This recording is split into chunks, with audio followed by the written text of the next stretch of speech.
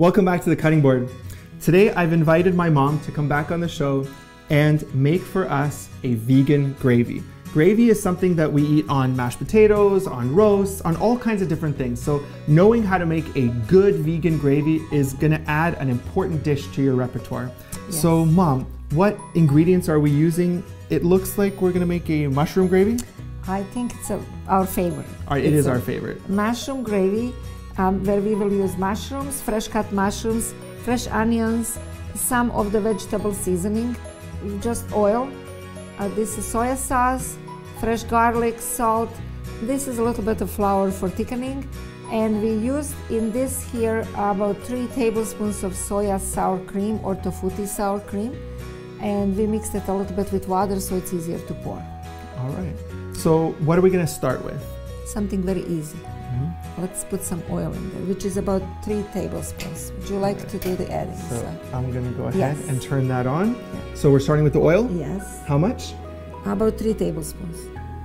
You can put a little less if you like. We can right away put onions and mushrooms. Got our onions in there and our mushrooms.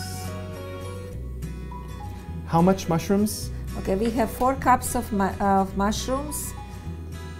And of the onions? Onions, just a big, one big onion, medium size.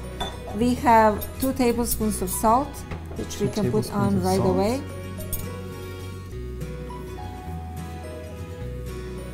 And two teaspoons of um, soya sauce. All right, so I'll keep stirring while you put that in. We can put that in right away. Very shortly, we can put garlic in.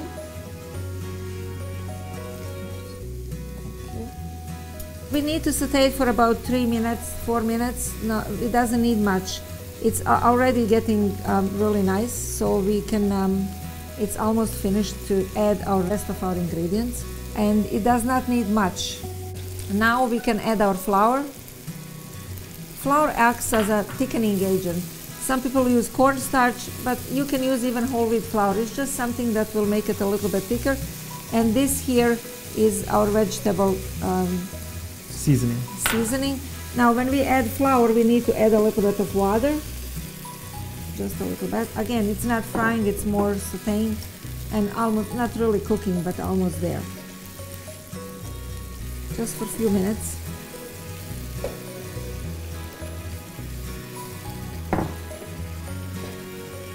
And you can see that it's starting to thicken already. Now we are going to add our sour cream.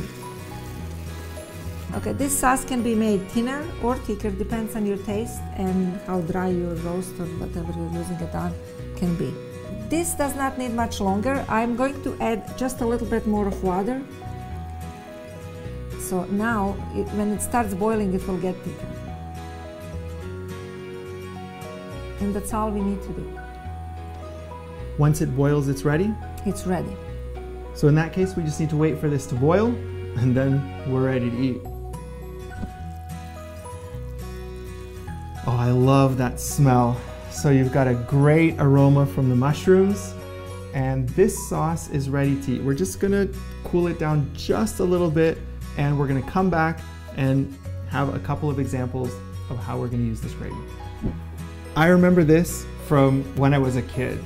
And this gravy was awesome. We ate it on mashed potatoes, which I really loved. And when we got older, we started to like roast. So mom made roast and we would put it on top of that too. So I'm gonna go ahead and put that on. And you made another example for us. What did you do there? Well, I've used that roast and I have made a same sauce, mushroom sauce, poured it over and just baked it in the oven a little bit just till it gets bubbly.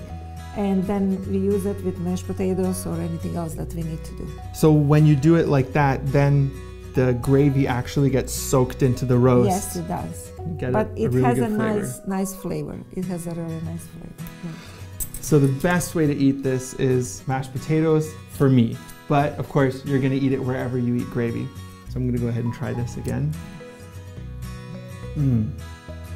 That's delicious. That's perfect. That's exactly what The I'm looking for in a gravy. Of course, I love the mashed potatoes too and the roast.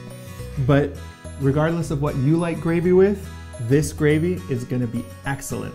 Mom, thank you so much for showing You're us. welcome. It's bringing back a lot of really, really good memories.